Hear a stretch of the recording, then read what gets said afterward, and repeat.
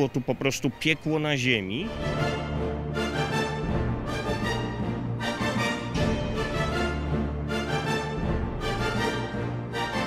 Tam jak gdyby poczułam fizycznie jego udział w walkach w Kościuchnówce.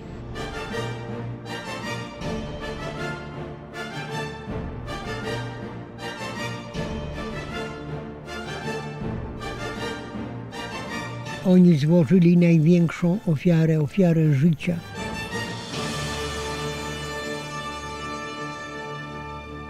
Na pierwszy rzut oka można by powiedzieć, jaki przepiękny las, ale wystarczy przez chwilę przyjrzeć się temu miejscu, by uświadomić sobie, że ten las był świadkiem krwawych, zaciętych walk.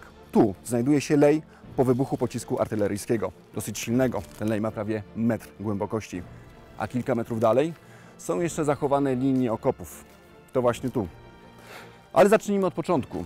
Czerwiec 1916 roku. Rosjanie planują wielką ofensywę na froncie wschodnim. Ofensywę, która ma zmienić historię I wojny światowej. Ten atak zaskakuje Austro-Węgry i ich sojuszników. Bardzo szybko linia frontu przenosi się tu, do Kościuchnówki, gdzie stacjonują trzy brygady Legionów Polskich.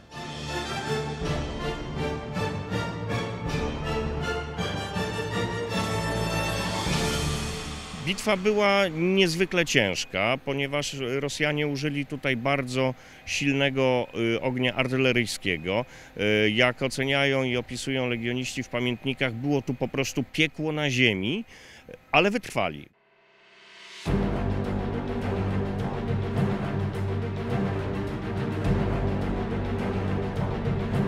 Przeciwko 13 tysiącom y, Rosjan stanęło 5,5-6 tysięcy żołnierzy polskich z trzech brygad legionowych. To jedyne miejsce, kiedy pierwsza, druga i trzecia brygada walczyły razem, ramię w ramię. Mm, Okupione to zwycięstwo zostało wielkimi stratami. Zginęło, odniosło rany lub uznanych zostało za zaginionych prawie 2000 polskich legionistów, a zatem prawie 1 trzecia stanów osobowych. Niektóre pułki, jak na przykład 5 Pułk Piechoty Legionów, stracił połowę swoich stanów osobowych.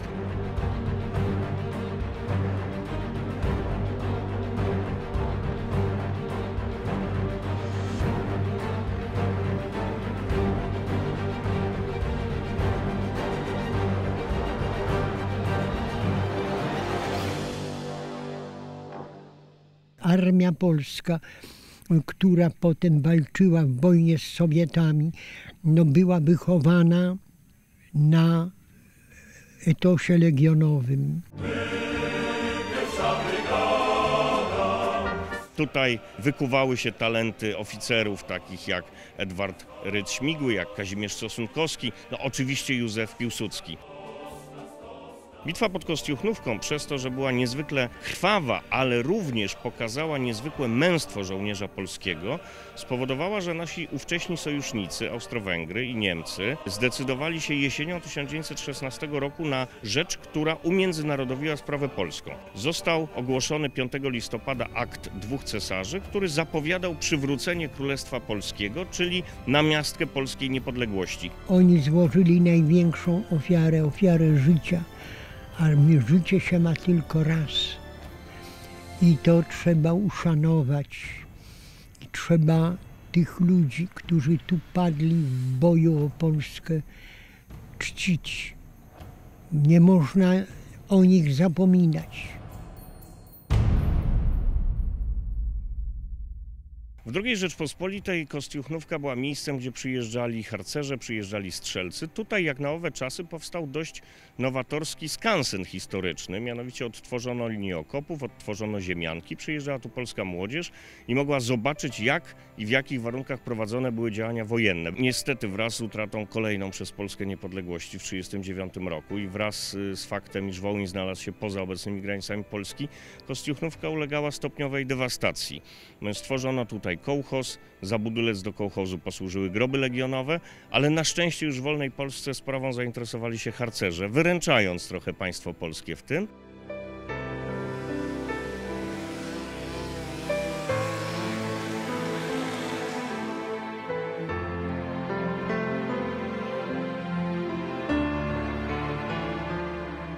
Kiedy już kilkanaście lat temu przyjechaliśmy tutaj po raz pierwszy, zastaliśmy w zasadzie szczątki cmentarzy, szczątki dawnej świetności, zrodziła się idea, żeby pamiętnić te miejsca, żeby przywrócić je do dawnego stanu. I to, co widzimy dzisiaj, to jest efekt kilkunastu lat wytrwałej pracy. Przyjeżdża młodzież, przyjeżdżają również i osoby starsze. Mm, Tegoroczny rozpiętość wieku uczestników to jest między 12 a 85 lat. Z całej Polski są to ludzie od gór na morze skończywszy. Większość tych cmentarzy zarosła totalnie, jest to gąszcz, regularna dżungla wręcz w niektórych przypadkach. Więc trzeba coś robić, aby pamiętać o naszych przodkach, o naszej spuściźnie narodowej.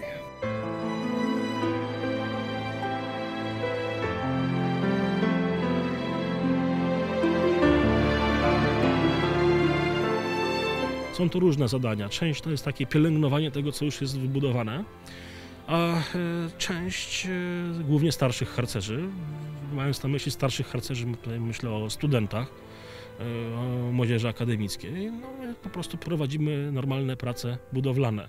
biorąc udział w odnawianiu, w rekonstrukcji, dają też taki ślad i do pomyślenia dla Ukraińców, że przyjeżdżają swoi dbać o swoich. Ale dzięki temu to jest też taka współpraca, ponieważ dołącza się młodzież i organizacje ukraińskie. Y, Tak samo później wyjeżdżają y, młodzież ukraińska do Polski na cmentarze ukraińskie, gdzie razem wspólnie z polskimi harcerzami też odremontowują, doprowadzają to do jakiegoś porządku. I Panu Bogu dziękować, że ludzie tutaj potrafią się zjednoczyć, jeden drugiemu pomóc i te cmentarze łączą, a nie dzielą.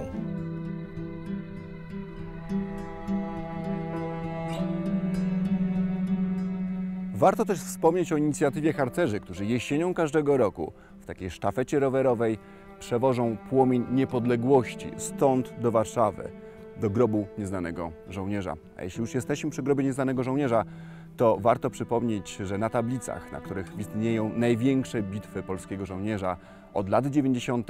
jest też miejscowość Kościuchnówka.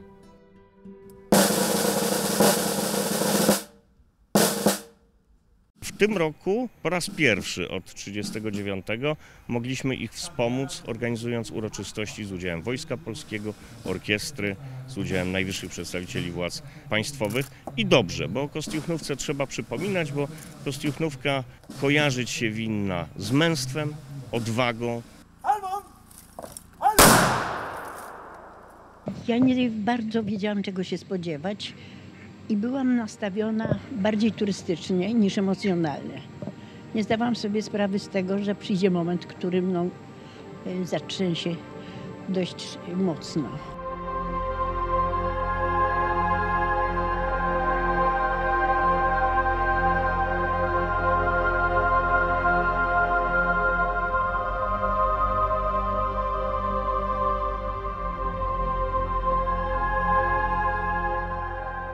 To, że mój ojciec był w moim, i jest w moim życiu najważniejszy, to ja zawsze wiedziałam.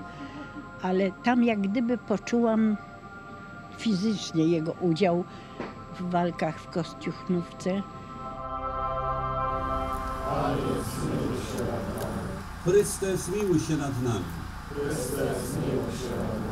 Panie, zmiłuj się nad nami. Ja się nie kryję z tym, że popłynęły łzy z oczu, bo przypomniał mi się mój ojciec.